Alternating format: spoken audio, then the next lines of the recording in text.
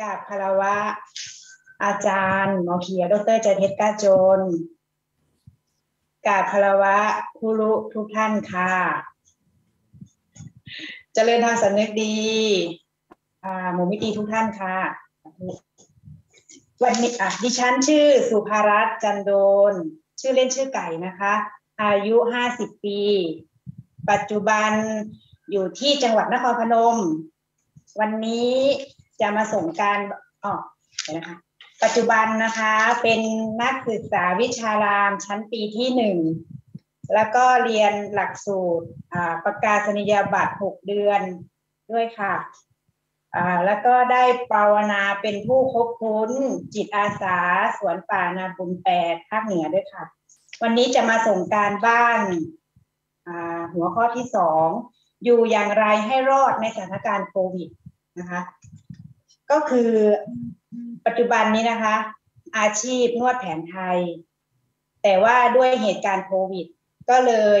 ไม่ได้เปิดร้าน เป็นการไปติดป้ายไว้ ที่บ้านญาติธรรมคนหนึ่งและถ้าใครอยากนวดนะคะ ก็ให้โทรตามก็จะใช้วิธีการนี้นะคะ ก็เดือนหนึ่งก็มีคนโทรตามก็ประมาณสี่ห้าคนค่ะ เพราะว่าก็เวลานวดเสร็จนะคะ จริง ๆ แล้วคือตั้งใจตั้งใจที่จะคือเป็นการตั้งสินของตัวเองมาตั้งแต่ปี 60 ตั้งแต่คบตั้งแต่ศึกษากับอาจารย์หมอเขียนตั้งแต่ปี 60 นะคะ ก็ตั้งสินมาตลอดก็คือเรื่องเงินนะคะ ก็สี่ห้าปีมาเนี่ย ก็จะตัดเรื่องเงินได้นะคะ โดยที่เวลาเราไปนวด เราก็จะไม่คิดเงิน หรือไม่ถ้าใครมีเงิน เยอะก็ใส่ซองให้เราเขาก็ จะให้ประมาณครั้งละหนึ่งร้อยบางคนก็สองร้อยแล้วแต่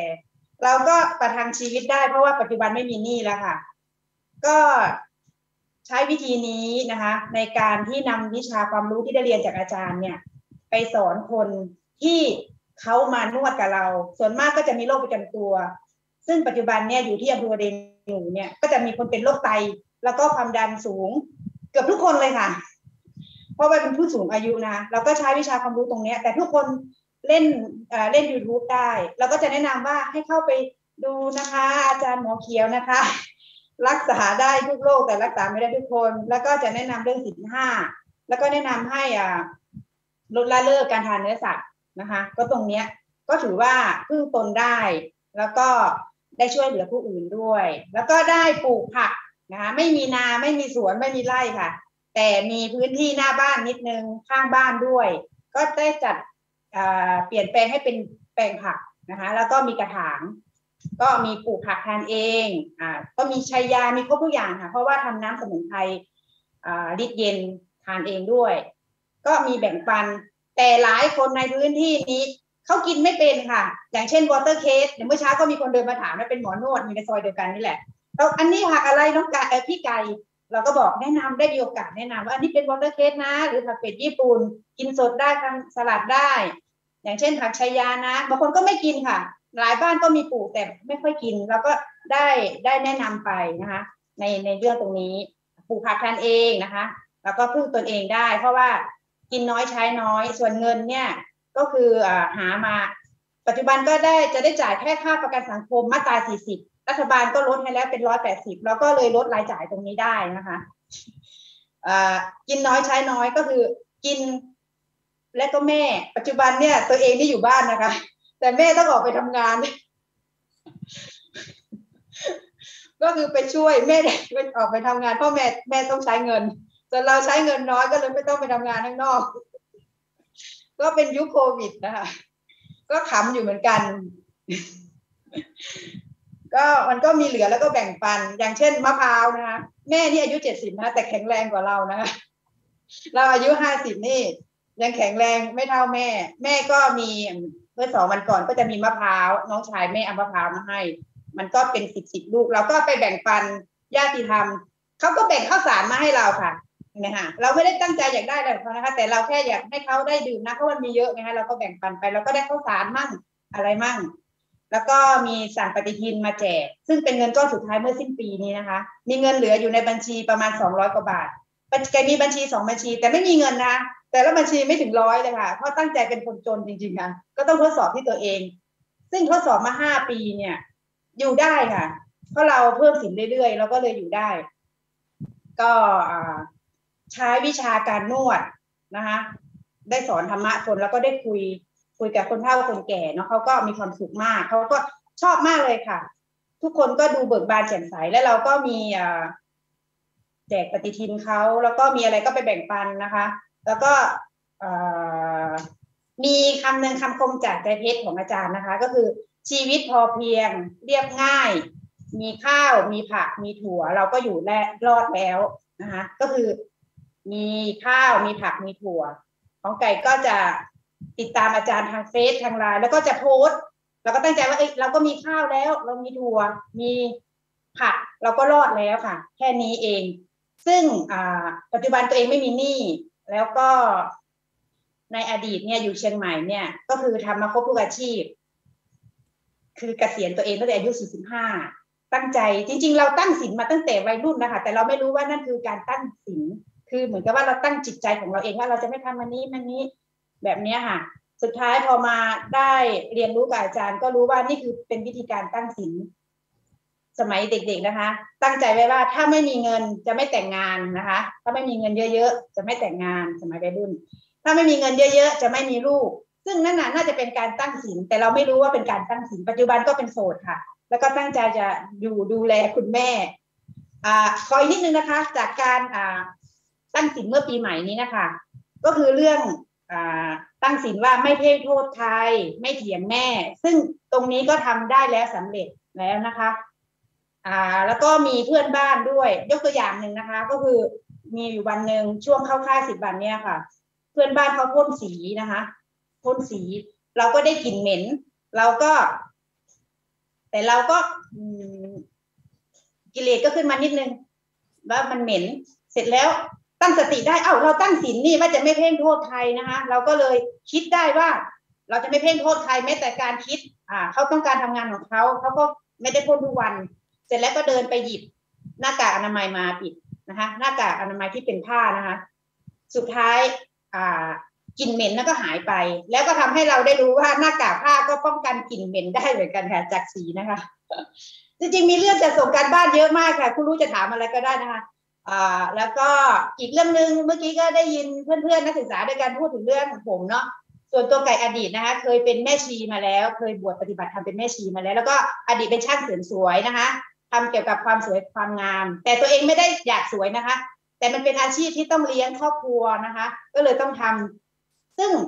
ตัวเองเนี่ยตัดกิเลสเรื่องนี้ได้แล้ว แต่มันมีหลายเรื่องที่เรายังตัดไม่ได้ เพราะนั้นเราจะภาคเพียนตั้งศีลแล้วก็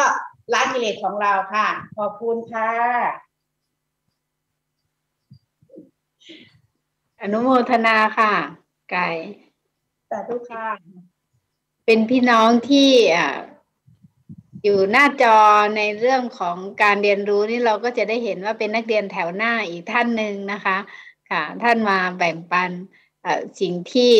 เป็นชีวิตที่เปลี่ยนไป แต่เราเห็นภาพของความใจพอนะคะ แล้วก็กินน้อยใช้น้อย มากน้อยกล้าจนแล้วนะคะนี่ดูกล้าจนแล้วค่ะ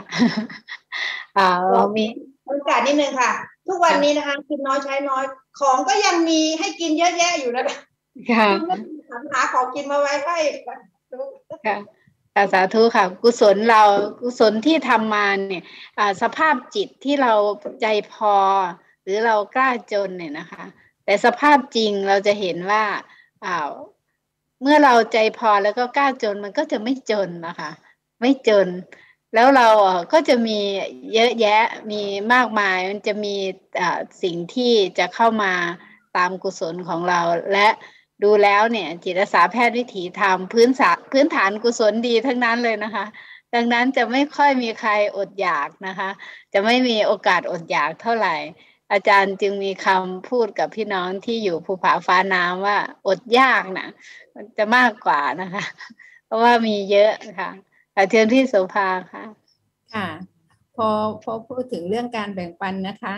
คือเอ่อ